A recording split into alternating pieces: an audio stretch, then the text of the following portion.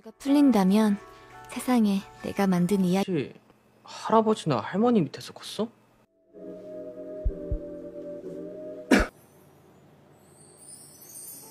아닌 것 같은데?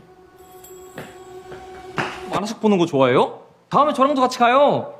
저랑도 꼭 같이 가주셔야 돼요. 오케이 뭐 안 좋은 일 있나 봐. 내가 좀 도와줘? 내가 도와줄게. 나 지금 어딨어 난 아니야 Kali ini saya akan menceritakan drama Korea terbaru yang berjudul My 20 Tahun 20 episode 4. Cerita dimulai saat Kang Sowon sedang menulis, teman asramanya Kang Sowon datang dan ingin tahu apa yang ditulis Sowon, 하고 있었길래 노크 소리도 못 들으셨을까? karena yang ditulis hayalannya tentang dirinya yang diperebutkan oleh Kang Hyun dan Jo Sang-wook dia pun merasa malu dan menyuruh temannya untuk segera pergi. 같이 보자. 안 돼. 절대 안. 내가 남긴 흔적들은 매년 1월 Dan Kang Sowon pun pergi ke perpustakaan, di sana dia bertemu dengan Kang Hyun yang terlihat sedang membaca komik. Kang Sowon pun mencoba menawarkan Kang Hyun membaca buku yang unik dan menarik. Yang berjudul The Temptation of Waffles. 소겸성이 있거든 인소겸성? Karena penasaran, Kang Hyun membaca buku tersebut. Akan tetapi dia merasa tidak tertarik sedikit pun karena buku tersebut merupakan buku lama dan jadul. 추억이라고 해야 되나? 야, 나 약간 보추냉이 같은 느낌이거든. 난 슬플 때 힙합을 쳐. 몰라?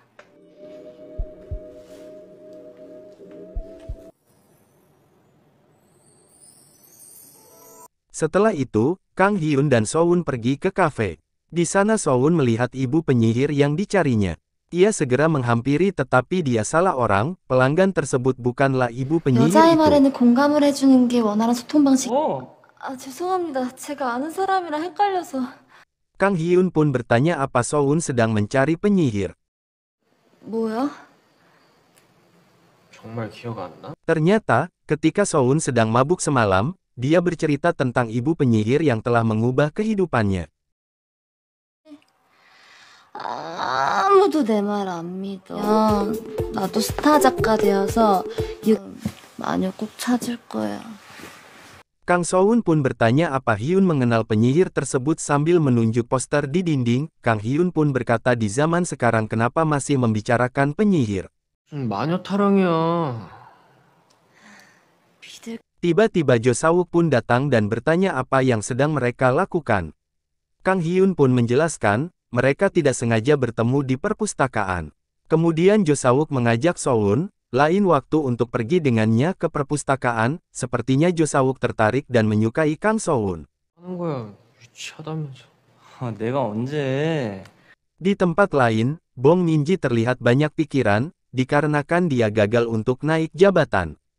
Padahal selama ini dia sudah berusaha dan juga rela untuk tidak mempunyai anak demi pekerjaannya itu, tetapi tetap saja ketua tim lebih memilih manajer Choi ketimbang dirinya. 아, 그러길래 좀 열심히 좀 하지 그랬어. Lalu Bong Minji bertemu ibu penyihir, dan ibu penyihir tersebut menawarkan bantuan kepada Bong Minji, ia pun menolak tawaran ibu penyihir tersebut.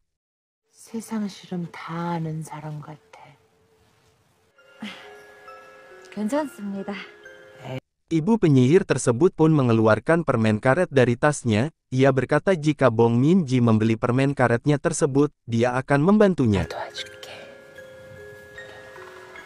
Lalu Bong Min Ji pun membeli permen karet tersebut. Kemudian ketua tim menemui Bong Min Ji menanyakan keberadaan manajer Choi karena tidak bisa dihubungi.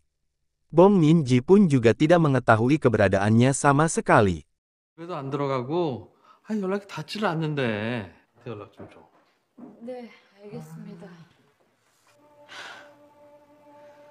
에이, Lalu beberapa staf melihat berita jika ada karyawan resor yang ditemukan tewas karena terjatuh di hutan.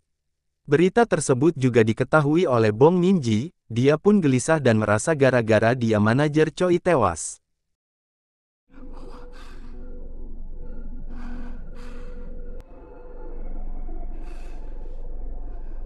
Dan pengumuman atas kenaikan pangkat pun diganti, dan Bong Minji lah yang akan naik pangkat. Tetapi Bong Minji terlihat tidak senang, itu sangat terlihat dari wajahnya. 공 과장님. Ketika Kang Soun memberikan laporan dia mengetahui jika temannya tersebut sedang gelisah. 띄워드리려고요. 아, 지는 표정을 감추지 못한다.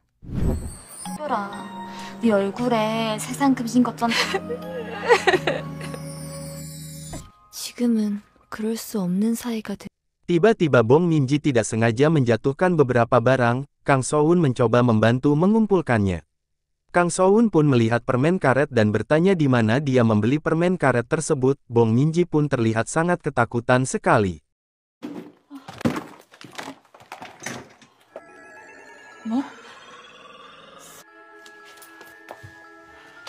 내 거. 그걸 어떻게? 그 여자 지금 어딨어? 난 아니야. Ikuti kelanjutannya pada episode selanjutnya, terima kasih.